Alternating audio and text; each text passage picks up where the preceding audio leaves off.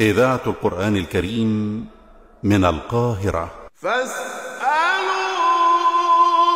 أهل الذكر إن كنتم لا تعلمون.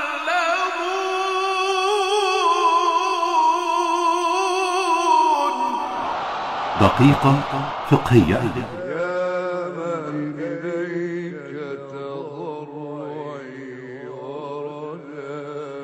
هل يصح أن أصوم يوم الجمعة فقط لسداد أيام قضاء من رمضان؟ بسم الله الرحمن الرحيم. الحمد لله والصلاة والسلام على سيدنا ومولانا رسول الله وعلى آله وصحبه ومن والاه. يصح قضاء ما عليك من أيام رمضان في يوم الجمعة.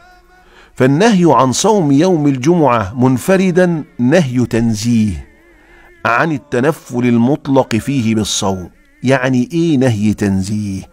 يعني أنه ليس حراما ولم يكن نهي حتى كراهه التحريم وإنما قال الأولى ألا تفرده بالصيام. يعني ما خليش يوم الجمعة وحده صيام. ولكن إذا صمنا فيه الصوم يكون صحيحا؟ نعم الصوم يكون صحيحا. يبقى إذا كان يوم صوم يوم الجمعة قضاء لصوم واجب كصوم رمضان فالصوم فيه حينئذ يكون جائزا شرعا ولا حرج فيه ولا كراهه والله أعلم. يا من إليك تضرعي ورجائي. دقيقة فقهية دكتور مجدي عاشور حسن سليمان.